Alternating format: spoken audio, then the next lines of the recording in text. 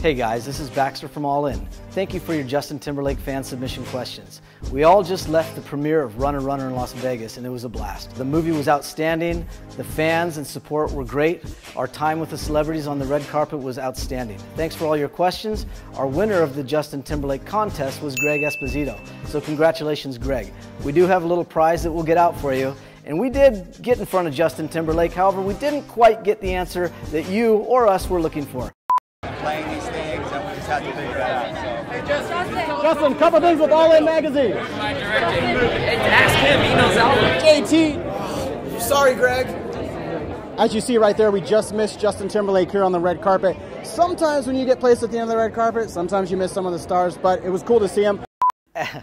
As you can see from, uh, from our reaction of our producer and director, it wasn't quite the answer we were looking for. Fans, keep those questions and submissions coming. We'll have more contests in the future. Follow us at allinmag.com.